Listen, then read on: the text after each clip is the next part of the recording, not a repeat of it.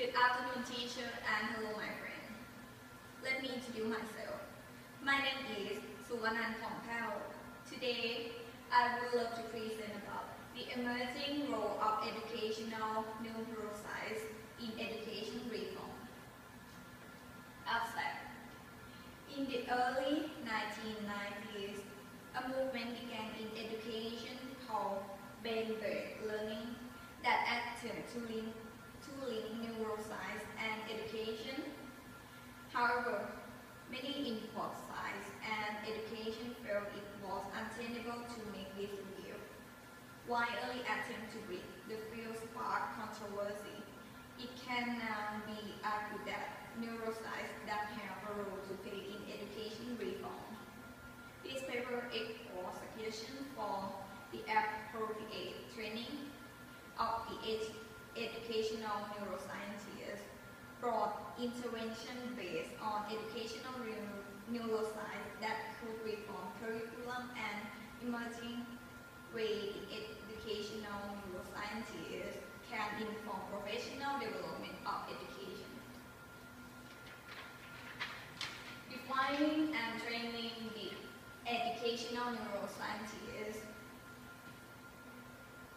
to support the we need a special layers with a food on each side, a hybrid with both experience and credential in both neuroscience and education, as one alone is not sufficient. It means that scientists don't know how to effectively present their information in an educational environment.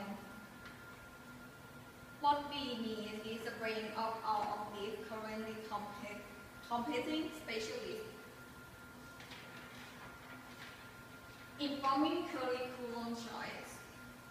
A common curriculum choice when cutting budget is to cut art instruction. Emerging neuroscience literature is, show, is showing the positive effect of art instruction on the brain and learning. An early and growing body of research for the effect of musical training on board cognition and achievement. Another area in which budget cuts have led to some unfortunate curriculum decisions in the area of research and physical education, there is evidence that exercise helps cognition. Conclusion? While brain research may not yet tell us how to teach, it does inform teaching, learning, um,